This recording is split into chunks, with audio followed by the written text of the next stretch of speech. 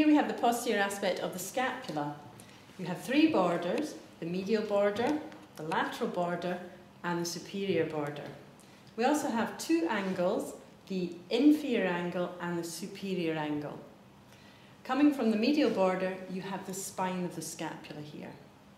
What I'm going to look at is palpating the bony points around the scapula. I'm going to start off with the inferior angle of the scapula.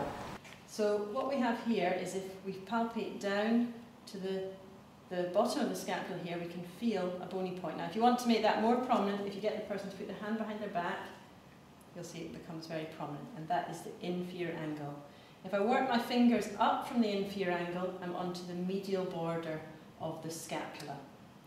And you can relax your hand down now. Okay, so I've got my inferior angle, I'm coming up the medial border until I find the base of the spine of the scapula.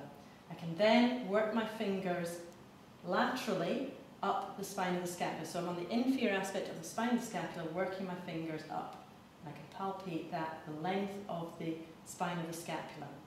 At the end of the spine of the scapula, we hit the sharp bony point, which we mentioned was the angle of the acromion, so we can draw that on there. Okay, so those are the key bony points of the scapula.